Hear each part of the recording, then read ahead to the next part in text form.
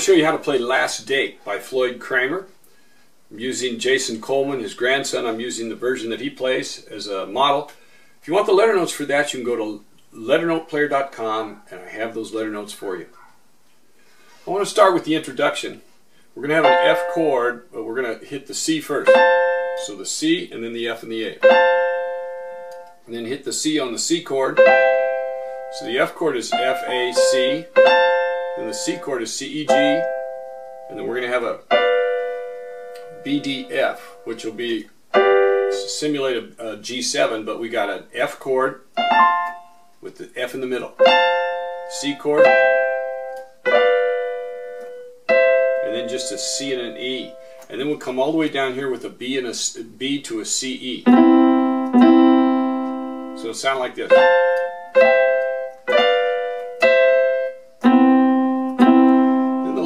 Kick in with a G, A, B, C. And when you hit that G, A, B, then switch to your little finger in the C. C, E, A, G.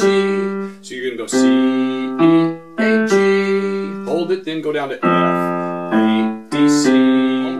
Then after the F, A, D, C, you're going to come all the way down with this D, E, F. So you got to, it's going to be D, E, F, E, D, C. And on the right hand during that time, you're going to play a C, F, G, A.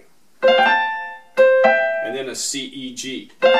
So you're going to kind of swip through there, just slide through it. And then C first, and then the E and the G. Then we'll do the same thing with the C, D, E, D, C, D. So the C and the D will go really quickly.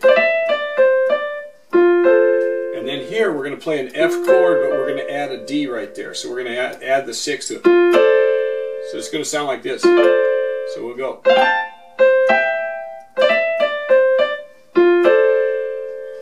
Now put it together.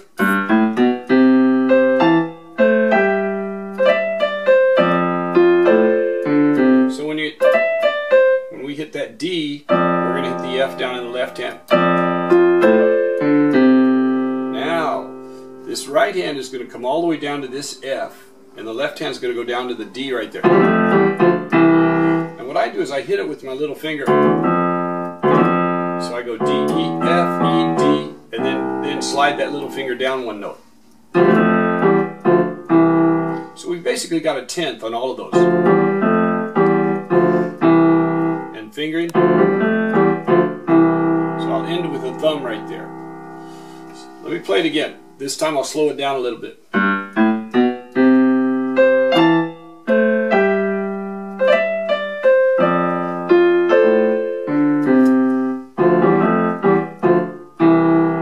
then we come all the way back up. Now, once I'm down with this C, I'm going to stay there for that C, E, A, G. Then I'm going to go back up to F, A, D, C, do the same exact thing again, only this time the left hand will be down an octave.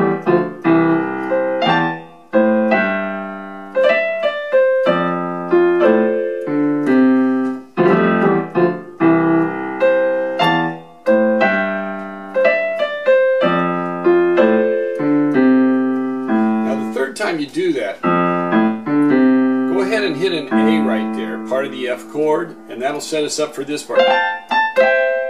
So we go with that same C, F, G, A. And just hit that A again.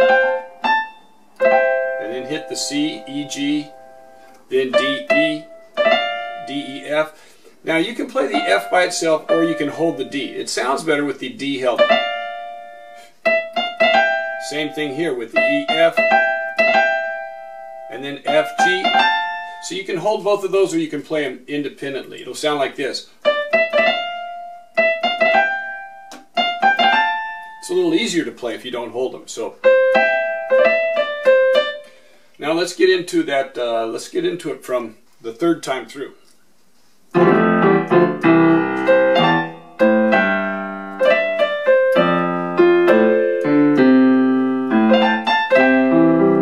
Now right there, you're going to play a C, E, G, C. Straight arpeggio on C, then a G, B, D, G. Straight arpeggio on G then a C, E, G, C, C chord with the uh, with the octave doubling down to an F, F A C F. So it'll sound like. There we got the G with that D and the F. So this when we put the D and the F in there, then we've got a G7, G one three five seven. The, the F is the seventh right there.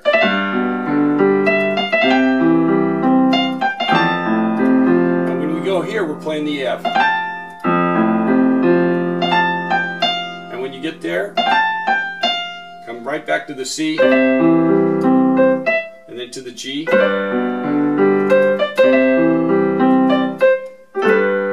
So we're going to go C, C, D, E, B, B, C, D, C, D, C, and then end with a G, A, G, A, G, B. Now I'm going to slow that down so you can see it.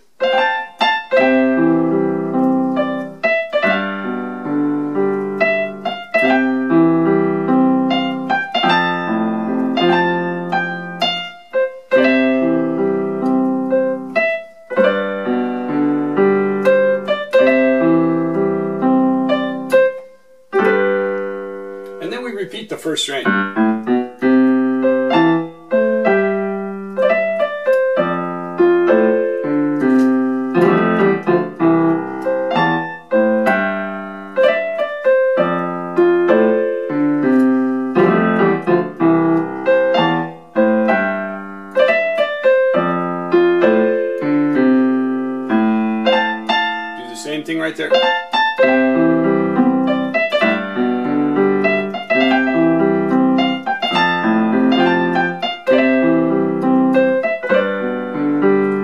Going to be different. You're going to do that. But you're going to do something different in the left hand. Just do a C, G. So let me slow it down going into that.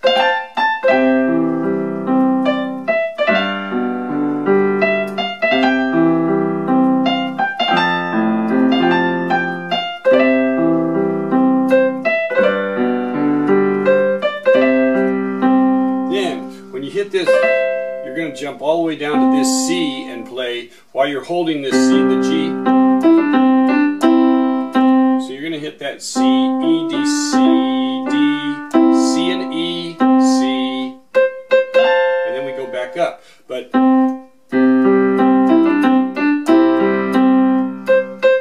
now we're going to play this.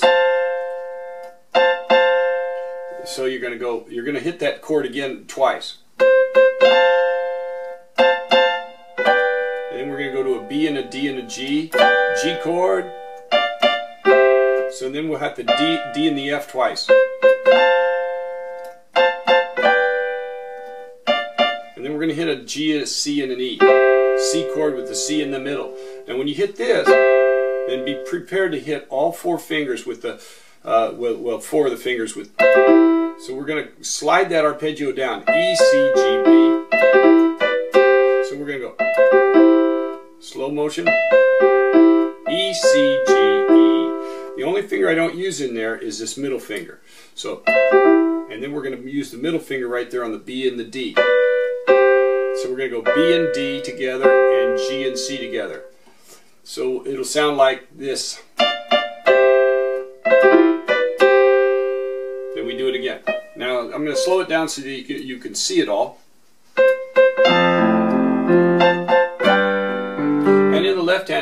C F G B D G C E G C.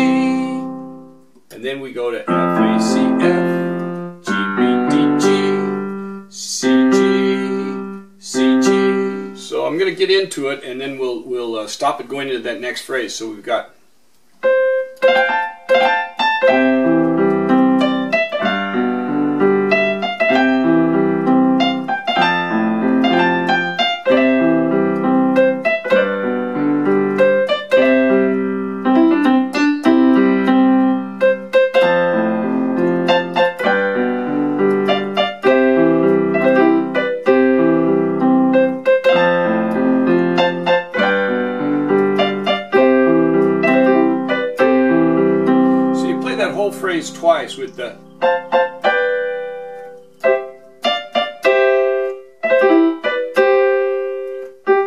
do it again and then the after the second time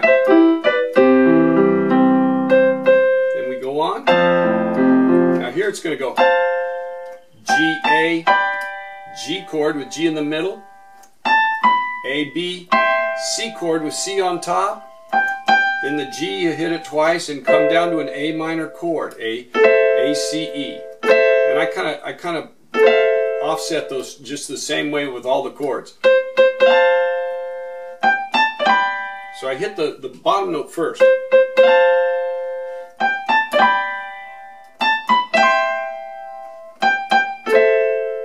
Then we play this C, C, C, C, A, C, F, A, D, F, and then we end with the G, B, D. So we go to an F chord, uh, we go to A minor chord, F chord with the F on top, then D minor chord with the D in the middle, leading to a G chord. Together it'll sound like this. Go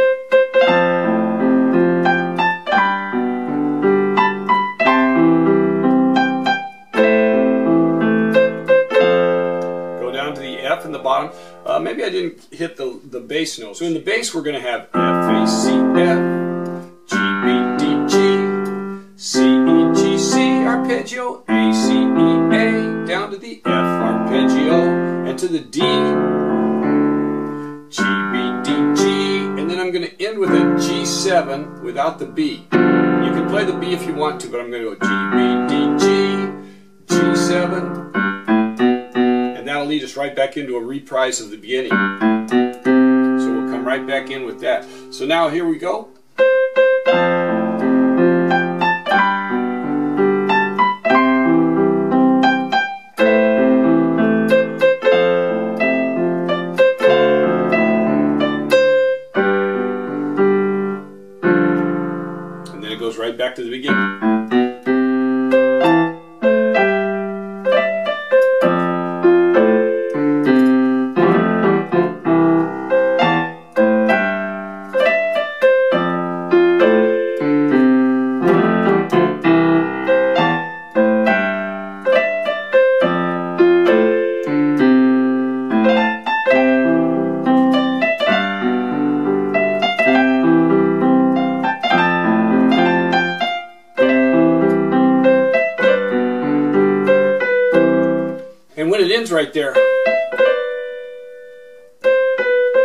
Go C, B, C, and hit the C chord and hold it there.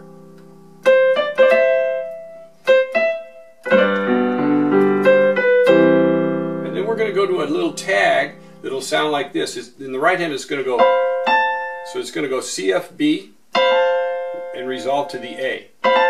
It's an F chord with F in the middle, and then we're going to come down to a move this F to the E and and use that A. So the the right the top of the right hand is going to go.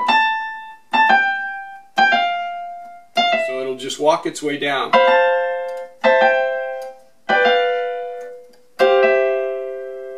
It's just going to be like that. So we're going to have a F chord starting with a B to the A, then a C chord starting with an A to the G, and then a G chord to a G7, and then we're going to end with a C chord starting with the F to the E.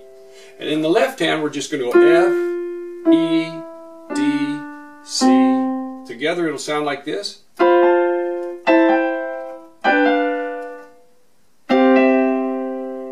Then hold that long enough so that you can set your brain for this next thing, because in the right hand you're going to go to you're going to go to E, G, D, C. And in the left hand, you got two things you can do. You can either, if you've got a big enough hand, you can stretch out C, E, G, C, G, E. So it'll sound like this. Now, if you can't do that, what I would recommend is to play a G, C, E. It'll give you the same sound. See, here's this, this one. And that's what I have written in the letter notes. If you wanted a richer sound, you can go down and hit that bottom C. It'll give you a little bit more of a bass note there. So let's get out of that and, and show it to you in context.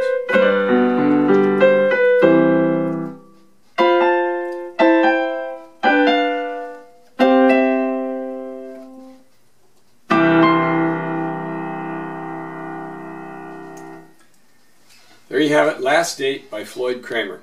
Hope you enjoy playing it.